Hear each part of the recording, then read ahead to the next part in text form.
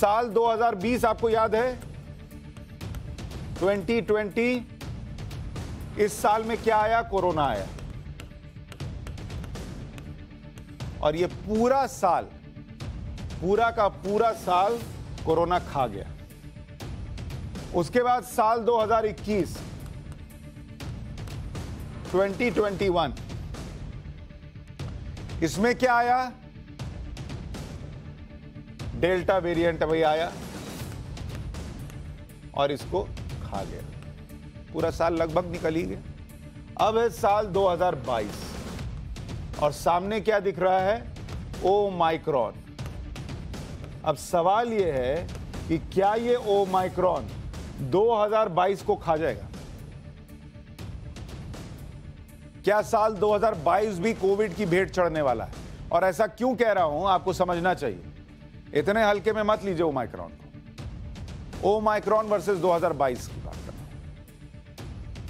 Hong Kong से एक research आई। और यह रिसर्च बहुत डराने वाली है। हांगकांग यूनिवर्सिटी ने बताया है कि ओ माइक्रोन संक्रमण के हवा से फैलने की संभावना है। बहुत ध्यान से सुनिए। हवा से आप पेशेंट के नज़दीक भी नहीं जाएँगे, तब भी ओ माइक्रोन आप तक आ सकता यह हांगकांग यूनिवर्सिटी दावा कर रही है। मरीज़ के संपर्क में आए बिना भी संक्रमण हो सकता है। मतलब आप सोचे कि मेरे घर में किसी को ओ माइक्रोन से कोरोना हुआ और वो फलाने कमरे में है और हम तो दूसरे कमरे में हैं, दूसरे कमरे में भी आपको हो सकता है। तीसरी बड़ी बात रीयूजेबल मास्क लगाने से भी संक्रमण का खतरा है। जो बड़ा डिज़ाइनर मास्क पहन के घूमते हैं कि फिर लगा लिया, फिर लगा लिया, कौन नया नया मास्क रोज खरीदे। उससे भी वो माइक्रोन हो सकता है। और जो हेल्थ वर्कर्स लगाते हैं, उनको तो और खतरा है। अब ये जो कह रहा हूँ, ये क्यों कह रहा हूँ, समझिए। हांगकांग में जो रिसर्च हुई, वो क्या कह रही है? जो ओमाइक्रॉन के पहले दो केस थे, उन पर इन लोगों ने रिसर्च की। और इन दोनों केस के बारे में आपको डिटेल जाननी चाहिए। पहला 11 नवंबर को दक्षिण अफ्रीका से एक 36 साल का यात्री आया हांगकांग, जो मरीज़ ए है। और 10 नवंबर को कनाडा से बासठ साल का यात्री हांगकांग आया, वो मरीज़ बी है, मान लीजिए। दोनों आपने देख लिया? दोनों को ओमाइक्रॉन था।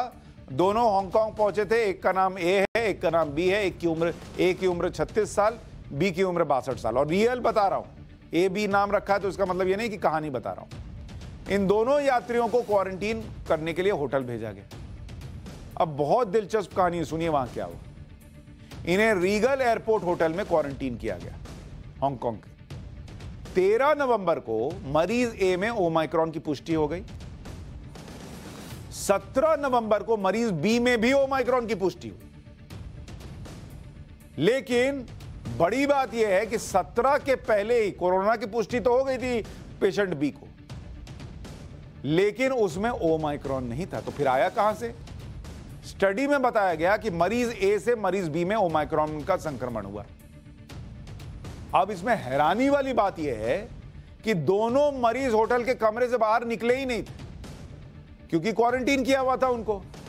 ए वाला अपने कमरे में बी वाला अपने कमरे में। ए को क्वारंटीन किया गया, उसमें ओमाइक्रॉन निकला। बी को क्वारंटीन किया गया, उसमें कोरोना निकला, लेकिन ओमाइक्रॉन नहीं निकला। लेकिन चार दिन बाद उसमें भी ओमाइक्रॉन निकल गया। दोनों अलग कमरे में बंद हैं। तो कैसे पहुँचा ओमाइक्रॉन अच्छा आप कहेंगे कहीं निकले होंगे, कहीं मिले होंगे, मन नहीं लग रहा होगा, घूमे होंगे। पूरा सीसीटीवी फुटेज झाँक लिया चेक कर लिया। एक एक दिन का एक एक मिनट का, दोनों अपने कमरे से बाहर निकले नहीं थे। किसी के संपर्क में नहीं आए। फिर भी एक मरीज़ से दूसरे मरीज़ में ओमाइक्रॉन का संक्रमण क्यों फैला? इसके बारे में हांगकांग यूनिवर्सिटी की स्टडी में यह बताया गया कि संपर्क में आए बिना संक्रमण इसलिए हुआ होगा क्योंकि क्वारंटीन होटल में दोनों मरीजों के रूम आमने सामने थे। भाई, जिसने क्वारंटीन किया, उसको क्या समझ थी कि भाई ऐसा भी हो सकता है? टेस्ट सैंपल कलेक्शन के लिए होटल रूम खोला गया होगा। पेशेंट तो बाहर नहीं आया, लेकिन रूम खुला। फ़ूड डिलीवरी या कचरा फेंकने के लिए रूम खोला गया होगा। होटल का स्टाफ तो पीपी किट पहन के चल रहा था। ओमाइक्रॉन संक्रमित मरीज़ बी ने रीयूजेबल मास्क लगाया था। रूम खोलने पर कई बार मरीज़ बी ने मास्क भी नहीं लगाया था। अब उसको लग रहा भाई सामने वाले का रूम बंद है ना, हमको क्या ज़रूरत है मास्क लगाने लेकिन ओ माइक्रोन का वायरस हवा में था।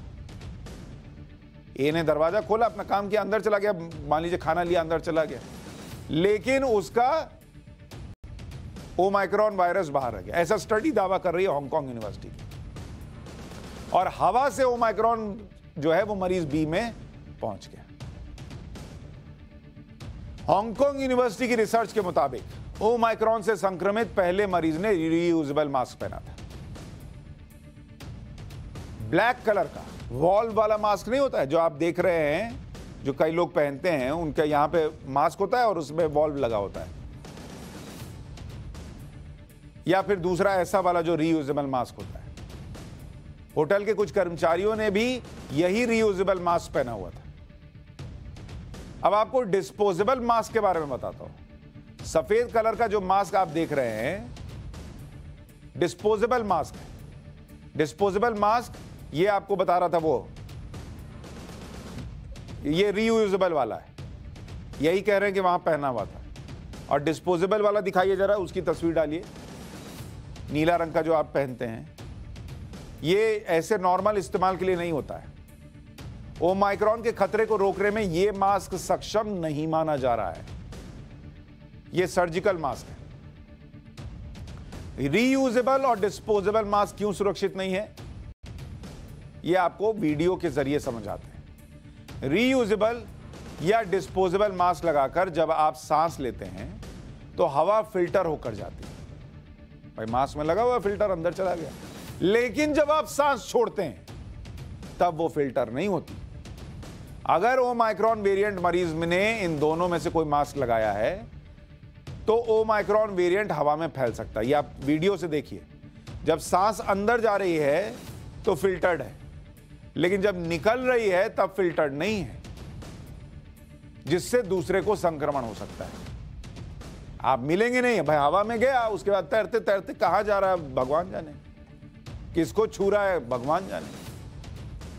सबसे सुरक्षित मास्क सर्जिकल मास्क माना जाता है।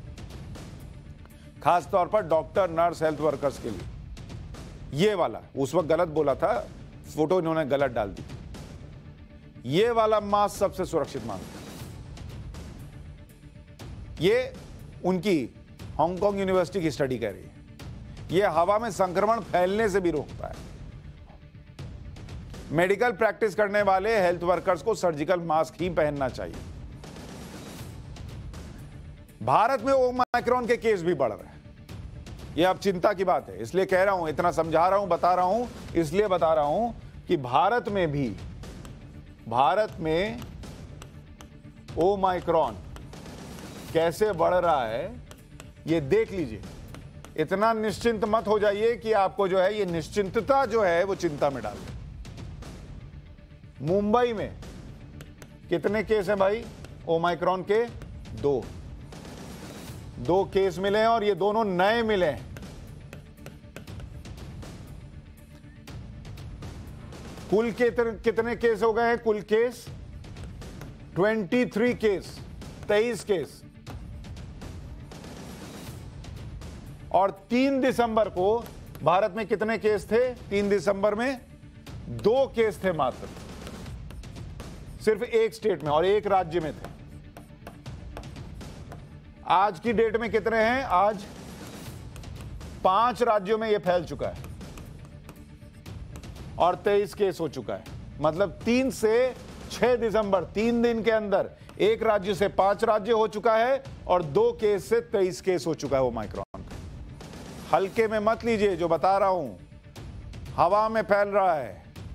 रीयूजेबल मास्क में भी फैल सकता है। ओ माइक्रोन पर डब्ल्यूएचओ ने क्या कहा है? इस वेरिएंट से संक्रमण के 90 दिन में फिर से संक्रमण के केस। डेल्टा वेरिएंट जो था, जो पिछला वाला था, उसकी तुलना में तीन गुना ज़्यादा कॉमन है। इस वेरिएंट की गंभीरता को समझने में अभी दो तीन हफ़्ते लगेंगे। दक्षिण अफ्रीका में इस वेरिएंट से बच्चे भी संक्रमित हो रहे हैं। जिन लोगों को वैक्सीन नहीं लगी है, उन पर बड़ा खतरा है।